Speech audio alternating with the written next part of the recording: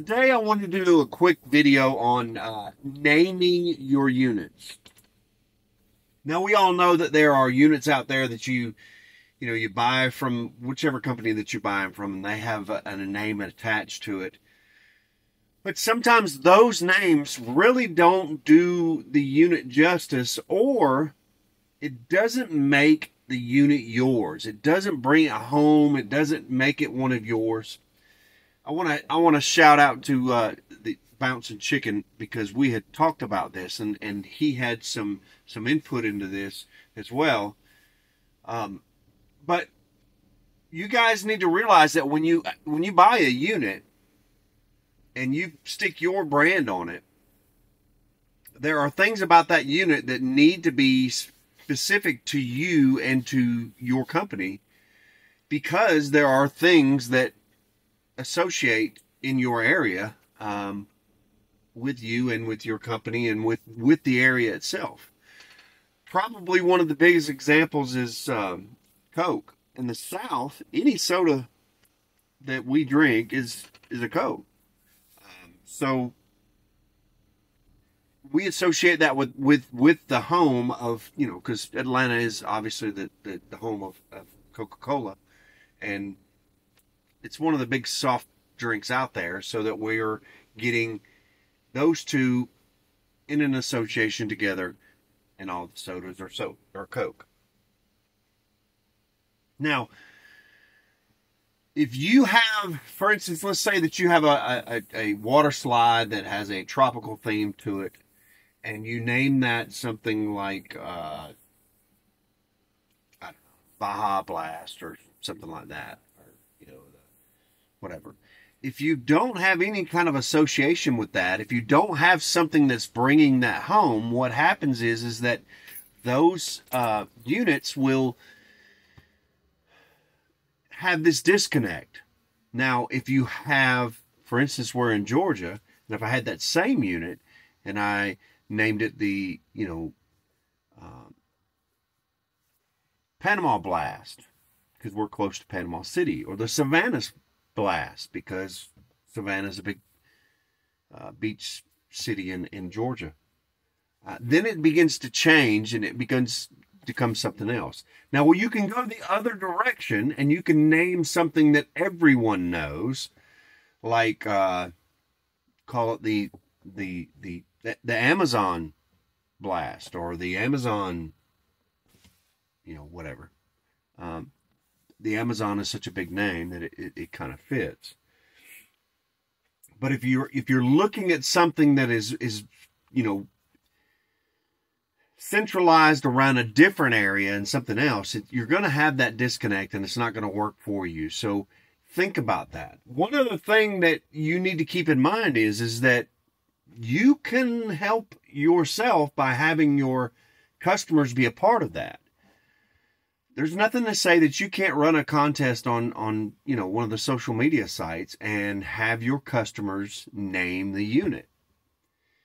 And even do such a thing as say okay what we're going to do is we're going to have a contest and and everybody who enters and we're going to vote on the name and whoever wins you know the people who, who who vote for a certain name we're going to put them in a hat and we'll pull the name out of the hat and whoever wins is going to get 10% off the rental of this unit. Or you know you can go all out and say look we're going to do our first party at your house. It's going to be free for you. All you have to do is pay my delivery guys and we're going to do you got to let us do a photo shoot because we got to take pictures of it anyway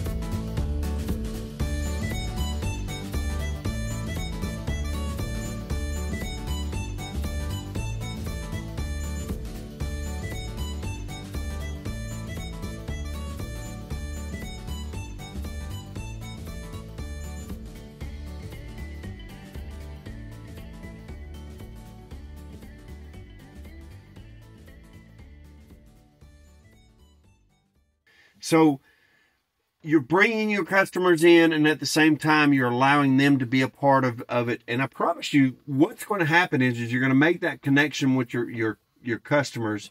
You're going to have this uh this you know feeling that, that they were a part of of the whole creation they're a part of your company and therefore they have this trust and understanding of your company that goes beyond just renting units or whatever they helped name that that slide hugely important. Now you you got to be careful because you know it, it can get dangerous. You, obviously, you don't want it being named something that's that's you know adverse to the business.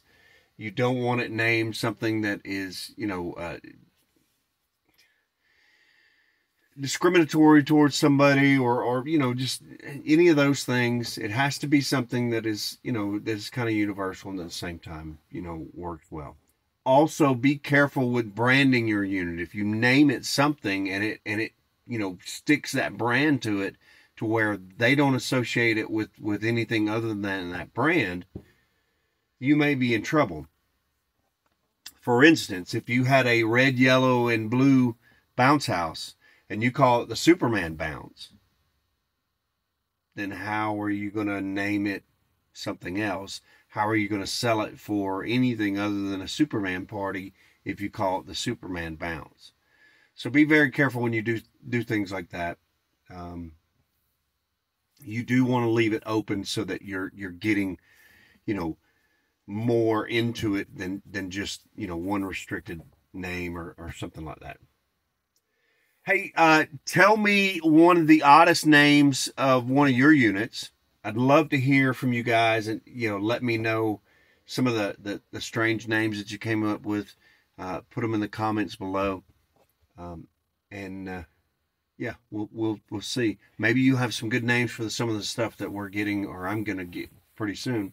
Uh, we're gearing up towards the summer, so we'll be picking up some new units. Um, you know, let us know if you had a success story. I appreciate you guys. We're in this together. There's no such thing as competition give us a like, give us a thumbs up, and we will see you on the next one.